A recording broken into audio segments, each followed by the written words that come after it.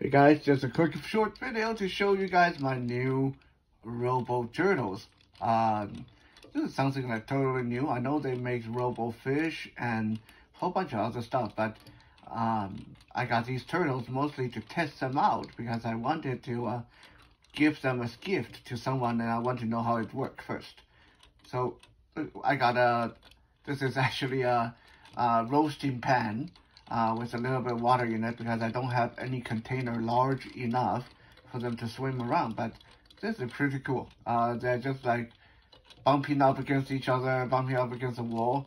Uh, I found them stacked on top of each other like they were doing the naughties uh, a few minutes ago.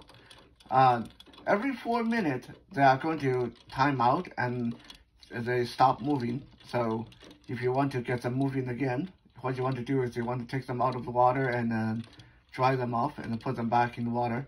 Sometimes you have to uh, make them revive or you have to uh, wake them up by tapping the little sensor, uh, the two little bumps on the back. I find that if you tap them, that makes them uh, start wiggling around and uh, uh, moving their flippers. But yeah, cute, little thing. they've been driving Aslan nuts. He's been sitting on the table looking at them.